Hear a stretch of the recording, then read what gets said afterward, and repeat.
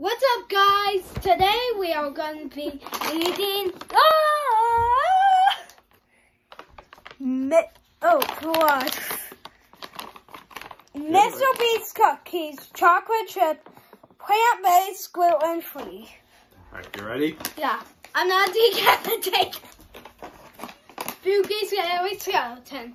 So I just got back here. Yeah. Ooh. Go ahead. Pick the. Oh. Mm. These are much bigger cookies than I expected. Mm.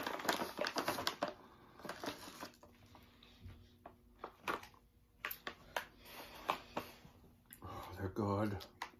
Eight out of ten. Eight out of ten. Eight out of ten. Why only? High eight. Why only eight? Like there could be other flavors. If But this they is, do it like feastables, like that's true. Uh, adult, like for adults.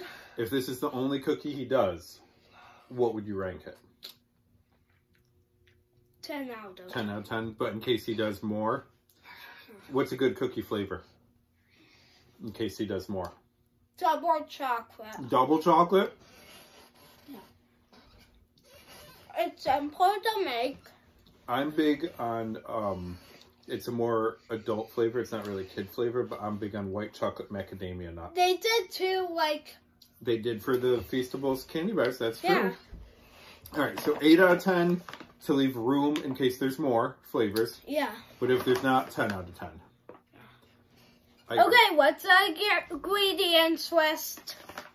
Ingredients are gluten-free flour blend, coconut oil, chocolate chips, evaporated cane sugar, brown sugar, cane sugar, natural flavors, baking powder, baking soda, salt.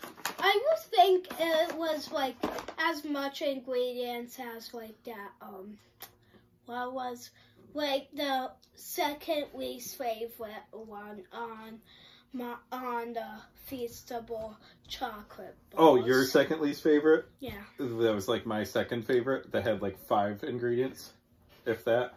Yeah, like that. Yeah. It's simple to make.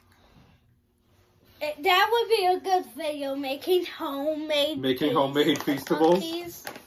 Let me look into it. Maybe we'll try to do that, okay?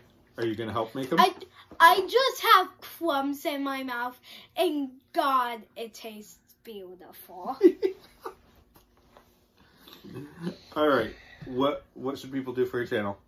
Like and subscribe, and do it for Jimmy's channel, Mr. V's. What's so funny? You. You're awesome. Like a hundred, over a hundred million people know his name global-wide. That's true. At least. At least. At least. All right. Ready to watch some Mr. Beast then? Yeah. Okay. See you later, guys, and totally recommend trying them out. They're at Walmart. Or online. online. No. See you guys later. Bye.